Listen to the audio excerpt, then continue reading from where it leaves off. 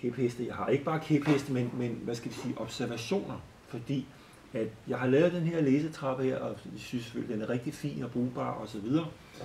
Øhm, men selv jeg kom nogle gange, dengang jeg underviste meget, øh, kom nogle gange til kort, fordi jeg kunne se, at øh, jeg gør jo alt det rigtige. Jeg synes selv, jeg var en udmærket underviser, og jeg lavede nogle fine materialer osv. Og alligevel så sad barnet der og sagde, øh, øh, skal du ikke snart hjem? og jeg er træt. Og sådan, jeg hvad sker der her? Ikke? Og så fandt jeg efterhånden ud af, blandt andet ved hjælp af, af en, der hedder Fred Brøgner og forskellige andre, men mest ham, at den slags børn er underernæret. De, de, så spørger man dem så, hvad, hvad har du fået at spise til i morgen? Har du fået at spise noget, har du spist noget sund morgenmad? Ja, det har de. Jamen, det har de. Hvad har du fået? Jeg har, de har så fået øh, kakaomælk og, og chokopops og en eller anden ting, ikke? Eller toastbrød med Nutella eller et eller andet ting, ikke? Ja, ja, sund mad, ikke? Altså, og de har, de har jo ingen energi i kroppen. Altså, de sidder bare og skvatter sammen og bliver, og bliver faktisk deprimeret. Ja. Altså, man kan spise sig ind i en depression. Ja. Øhm, det lyder måske dramatisk, det her, men, men sådan er det bare. Altså, ja, jeg, har, jeg har selv været der, så jeg, ja. jeg, jeg ved ja. det udmærket, for jeg har gået igennem meget voldsomme kostændringer for ja. hele familien, og ja. jeg kan bare se nogle dramatiske forandringer. Ja. Også for min egen hjerne, om hvordan jeg, jeg mere kan få altså, ro og, og, og, og bare er blevet meget bedre til at kunne, kunne lære. Ja. Hvor jeg har været meget manisk før, Øh, og, øh, og det øh, er jo frygteligt, at hvis man ikke engang øh, ved, at man kunne, øh, man tror, sådan er jeg bare, ikke? så man kan sådan, øh, at hvis man kan træde ud af det, og så se, huha, hvem man var før. Ja. Ja. Øh, og og det, er jo, det er jo ret synd for alle de børn, som jeg synes, der, der ligesom lider under, altså får de alle mulige ting, også andre, du er ikke, du er ikke så kvik, du er ikke så klog og sådan noget. Ikke? Men hvis man kunne, det er det der med at sige, at vi, vi er konstant, fordi vi er ikke konstant. Og det er, det er jo det, som jeg synes er så fantastisk, du har gået ud og siger, det kunne vi se i starten også. Jeg regner med, at du startede med den der privatundervisning, er det ikke rigtigt? Jo. Jo, fordi det er først dit samarbejde med folkeskolerne er kommet senere, ikke? Jo. Øh, så du startede med at tage alle dem, som ligesom var faldet ud af systemet, og, og, og har sige til dem, du får en chance mere, ikke? Jo. Øh, og, øh, og det er jo ikke kun med læsning, det er med mange andre ting af folks områder med livet, at, at der er mange, der aldrig rigtig kommer derhen, hvor de finder ud af, hvad, hvad de er gode til, og, og finder ud af, at de godt kan ting. Øh, så, så det, øh... Ja, hvis de så ikke spiser ordentligt, som de kom fra, ikke, så, så, så er det jo bare, så, så koncentrerer de sig om, at, at, at de har det dårligt, og de er deprimerede, og de er slappe og ugidelige. Altså, jeg, jeg har lige haft en elev, som jeg havde i øh, anden, tredje klasse. Og han var simpelthen bare sådan, altså han var et lys, ikke? Han, han læste ikke særlig godt, det som hvad det var, men han var den der, så havde jeg ham, fordi nu var det så læse forståelse, han havde problemer med en 5-6 år efter, så var han kommet i puberteten. Og så, siger, så vil man så sige, at det er fordi, han er kommet på puberteten. Og så gider jeg ikke, åh mor, sådan den der, ikke? Ja. Øh, og, og der er måske også lidt der, med man øh, kommer i modsætning til de voksne, og alt det der. Men han spiste fuldstændig forfærdeligt. Ja. Og det gjorde jeg så opmærksom på, og da han så begyndte at ændre sine kostvaner, så skete der også noget der. Ikke? Ja. Altså det er bare, det er så grundlæggende. Ikke? Og det er jo, og det forfærdelige ved det, det er, at vi har jo råd til at spise sundt, men også usundt her. Det er ja. jo ikke penge, der mangler i det her samfund. Ja. Vi har også råd til at proppe en masse skidt i os, som bare er ren gift for os og for, os, for vores evne til at, til, at, til at lære. Og det skal man bare være opmærksom på, ikke? fordi det ser så, der er så mange ting i det her samfund, det ser så pænt ud på overfladen. Vi har jo pænt tøj, og vi dufter godt forhåbentlig, og det, det ser så godt ud. Og samtidig så står vi og kigger på en masse børn, som ikke trives. Det var da mærkeligt. Jamen, så må det være, fordi der er noget galt med dem. Ja. Ikke? Når de er så åbenbart født på den måde. Der er nogle ja. signalstoffer i deres hjerne, der ikke fungerer, og når de er nok autistiske, ja, det er, de er nok ADHD, og alle de der øh, diagnoser, der, som der kommer flere og flere af, og som jeg er... Men det er fordi, det er meget sværere at se på det på en holistisk måde. Det er meget mere besværligt, for så skal man til at tage stilling til alle mulige Det skal man, og man skal også til at blande sig lidt, og måske for ikke forældrene på skolen og sige, I skulle lige prøve lige at overveje, hvad jeres børn spiser og sådan noget. Altså man bliver nødt til at, man kan sige blande sig, man kan også sige involvere sig. Ikke? Ja. Det, det er ikke bare sådan en snæver lille kasse, hvor der står undervisning på, når man ja. er lærer. Pludselig skal man til at involvere sig i andre ting også. Ikke? Og det, altså hvis man skal lære alle at læse, og det er jo det, vi påstår. Ikke? Alle kan lære at læse, hvor det står inde. Nu kan alle lære at læse. ja. Så bliver man nødt til at, tage he, at gå hele vejen. At tage hele ansvaret, og nogle ja. gange blande sig. Ja. Øh, forhåbentlig på den gode måde. Ikke? Ja. ikke ved at gøre folk forkert på den, det kommer der aldrig noget godt ud af, men på den, blande sig på den gode måde. Øh, og så får man resultater. Hvis du for eksempel ikke går ind i, om folks børnene spiser ordentligt, så kan du ikke garantere for, at alle kan lære at læse. Ja. Det, sådan er det bare. Så kommer vi til det næste sådan meget sprængfarlige omkring det, det er, hvad er så dit syn på at det her? Nu, først så sidder de hen i skolen og lytter til noget, de ikke rigtig kan sætte sig ind i, så kommer de hjem, så tænder de fjernsynet, så ser de på det, så er det kedeligt, så går de hen og tænder computeren, og så spiller de øh, tv og øh, computerspil. du udtalte, det, du behøver ikke, hvis du ikke har lyst. Men... Nej, nej, nej, nej. Altså, jeg vil helst ikke være for frelst med hensyn til computerspil og sådan noget. Jeg kan godt forstå, at børn godt kan lide computerspil. Det vil jeg godt lige sige. Fordi ja. det er jo spil. Ja. Spil. Og øh, det vi har prøvet øh, her i Alcalera, det er jo at lave læse, brydning af læsekoden om til et spil. Ja. Altså både, at vi har mange spil i forbindelse med det, vi har lege, og, og bare det at komme op ad den læsetrappe er også et spil, en konkurrence med sig selv ja. først og fremmest. Ja. Så der er et eller andet der. Så, og jeg vil da sige, at hvis, hvis eller når vi engang er i stand til at lave øh, hele Alcalera om til, eller supplere med at lave det om til computerspil, så ja. gør vi det. Okay. Det kræver kæmpe store ressourcer. Men hvis børnene kan lege sig frem til at kunne kunne øh, bryde læsekoden ved hjælp af computerspil. Wow, fantastisk. Det er så en ting. Den anden ting, det er, selvfølgelig er det ikke sundt, at børn de sidder 5, 6, 7, 8 timer om dagen og spiller i en kunstig parallelverden. Altså, hvor de mangler fornemmelsen for, at det her, det er altså rigtig bord, og det føles sådan, og det er altså rigtig fuglefløjt, og det lyder sådan. Det er noget helt andet. Men altså, jeg vil sige, jeg forstår godt øh, computerspillets popularitet, fordi det er games, og børn de elsker games og konkurrencer.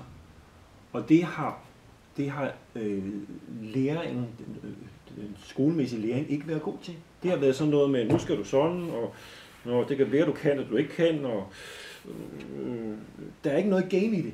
Der er ikke noget konkurrence i det, enten med sig selv eller med andre. Eller meget lidt i hvert fald. Jo, så kan det være med for høje karakterer og sådan noget, men det kan også være på de højere trin, ikke? eller for god udtalelse og sådan Men det er sådan lidt, ah, det er lidt tyndbenet, og det er, sådan, og det er angstprovokerende, mange af de ting der. Det er angstprovokerende, ikke? Ja. Jeg fik en dårlig karakter, åh, så er livet ikke noget ved, og jeg kan kun klare mig, hvis jeg får 12-tal og sådan. Altså, det er jo et, et dårligt game, ja. ikke?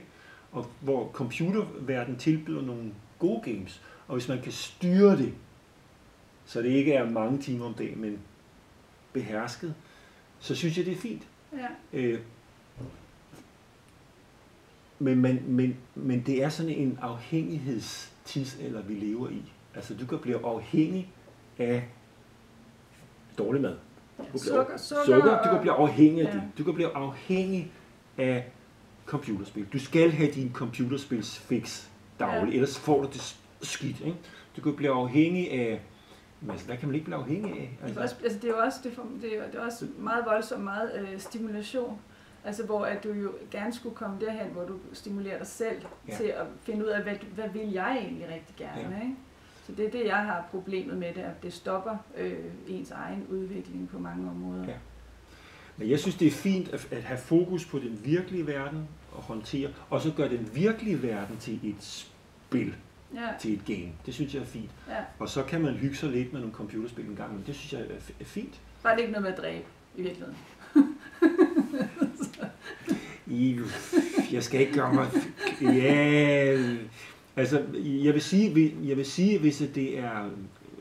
Hvis det er hvis, at, hvis det bevisligt var sådan, at, at, øh, at børn blev øh, dårligere mennesker, eller blev mere aggressive og sådan nogle ting, så, så vil nok være, så vil jeg være betænkt. Men det mener jeg ikke, der er undersøgelser, der viser.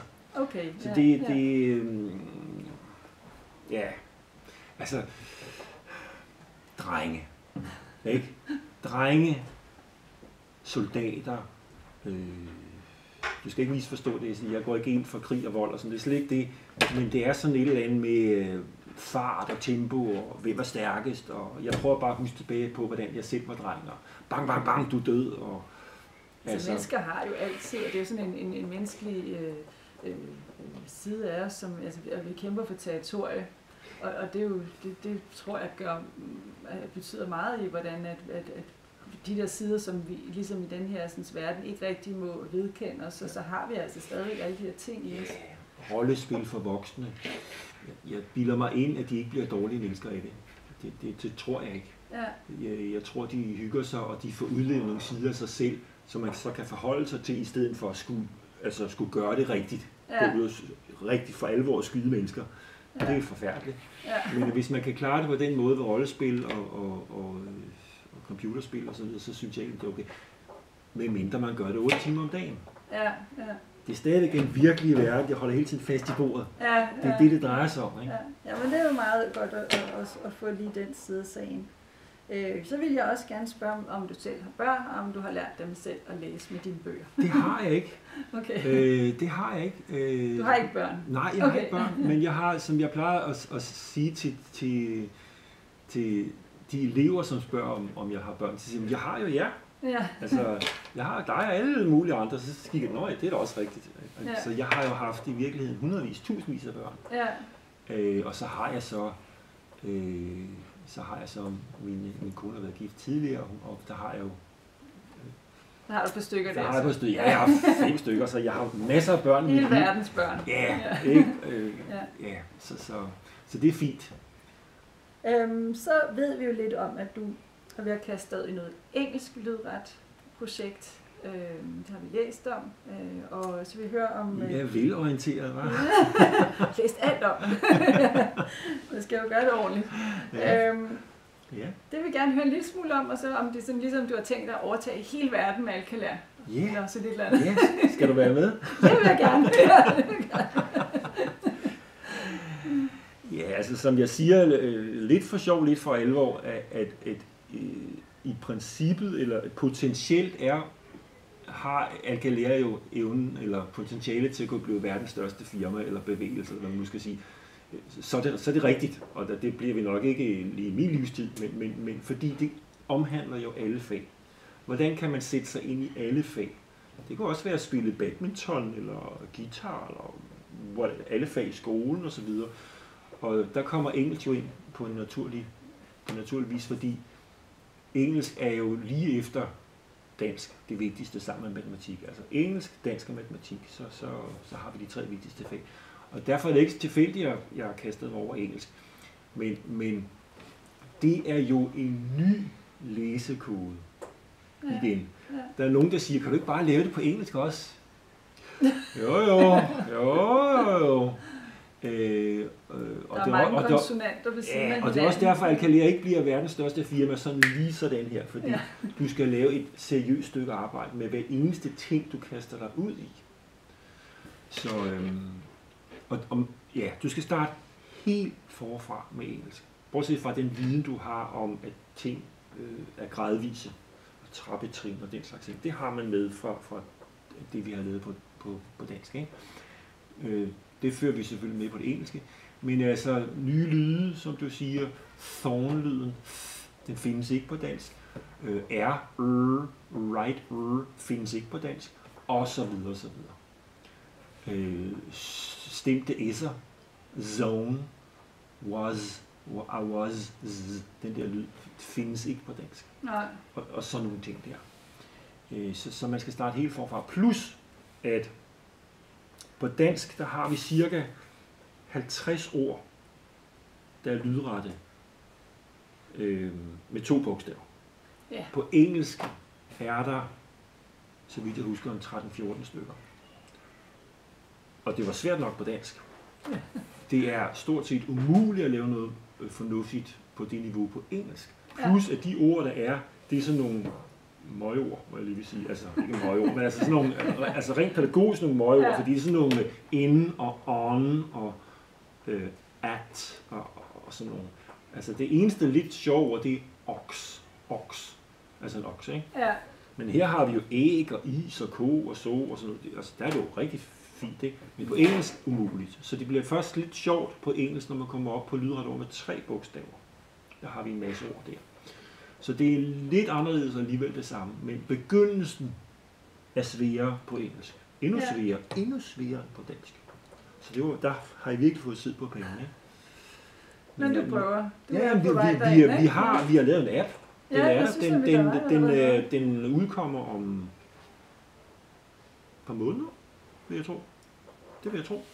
Så det er... Til salg i England for englænder, eller? I, I Danmark. Altså det er, den danske kommer det er først. ikke til englænderne, du vil lave den. Det er til det, danske børn til at lære dele, engelsk. Begge dele. Okay. Vi har lavet en på dansk, som udkommer om et par måneder, vil jeg tro. Okay. Og så er der, øh, er der lavet en, en engelsk, som er, har været færdig i et, et års tid, som er holdt tilbage af mere strategiske grunde. Det er en lang historie. Men altså, den, en, den, undskyld, den danske kommer ud om et par måneder. Ja. Så øh, det glæder vi os rigtig meget til. Okay. Ja. Nu så øh, kan jeg lige sådan drage vores samling. Altså vi er meget glade for sprog i vores øh, hjemmeskole. Øh, vi har et sprog om dagen, fordi ja. vi måtte skære lidt ned på det. Ja. øh, vi har øh, engelsk, tysk, engelsk, tysk, spansk, kinesisk og latin. Og det er ud fra børnenes valg, hvad de gerne vil wow. have. Og det betyder ja. ikke, at vi er netop fantastiske til noget af det, men det har blevet mere noget med det der med at undersøge sprogene, hvordan lyden er, nemlig er jo en meget, meget stor del af det, og, og, og hvordan det er sat sammen i det hele taget, og så også meget sådan historisk bliver det også spændende. Ikke? Ja. Og der tænker jeg altså, at lydret, så vil jeg næsten tænke, at det var nemmere at gå i gang med spansk end med engelsk. Det virker mere lydret, og det ved jeg ikke, det kan være, at jeg tager fejl. Det, jeg er ikke ekspert i spansk, men øh, mit indtryk er, at det er meget mere lydret. Ja, altså det Italiensk og spansk er meget mere lydret end engelsk og fransk. Ja, vil du ikke også sige jo, det? Jo, absolut. Altså, og så vil jeg så sige, at kinesisk det er fuldstændig umuligt. Det er noget andet, jo. For det er jo, det er jo, det er jo ordbilleder, jo. Det er jo en Ja. helt anden måde, det er skruet sammen på. Altså deres lyde er virkelig, virkelig anderledes, Ja. ja. så det kunne være ret øh, spændende Ja. øh, fonetisk at kigge på det. Der findes jo en, øh, en, en lydret udgave af kinesisk, som hedder noget, jeg kan ikke huske, hvad det hedder. Ja, det var det. Kan du huske, hvad den med hedder. Martha? Noget med P. Når vi læser dem med europæiske... Hvad er det? Pinion? Ja, det skal nok Ja, det tror jeg, det er det, det hedder. Ja, Jeg kan ikke ja. huske det. Ja. Så